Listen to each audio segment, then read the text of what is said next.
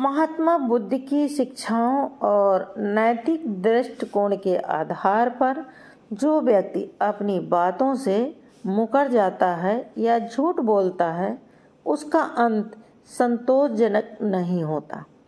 बुद्ध ने सत्य, ईमानदारी और नैतिकता को जीवन के महत्वपूर्ण अंगों के रूप में माना है। जो व्यक्ति अपनी बात से मुकरता है या झूठ बोलता है, वह विश्वास और संबंधों को खराब करता है। इसके परिणाम स्वरूप उसे सामाजिक, मानसिक और आत्मिक कठिनाइयों का सामना करना पड़ता है। ऐसा व्यक्ति दूसरों का विश्वास खो देता है और उसे कर्म, उसे उस कर्म के लिए बुरा परिणाम मिलता है। यह सिद्धांत कर्म से भी जुड़ा हुआ है। जैसे कर्म करोगे, वैसा परिणाम मिलेगा।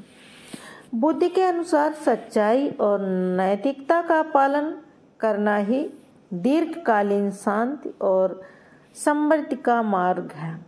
जो लोग अपनी बात पर अडिग रहते हैं, वे जीवन में स्थायित्व और सम्मान पाते हैं, जबकि जो अपने शब्दों से मुकरते हैं उन्हें अपने कर्मों का नकारात्मक परिणाम भुगतना पड़ता है।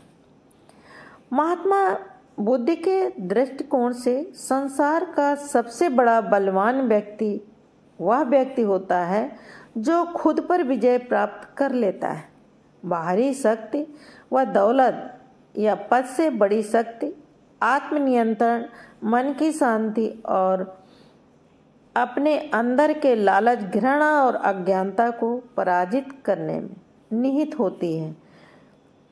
बुद्ध ने कहा था अब अपने आप पर विजय प्राप्त करना हज़ारों युद्धों को जीतने से बहुत बेहतर है।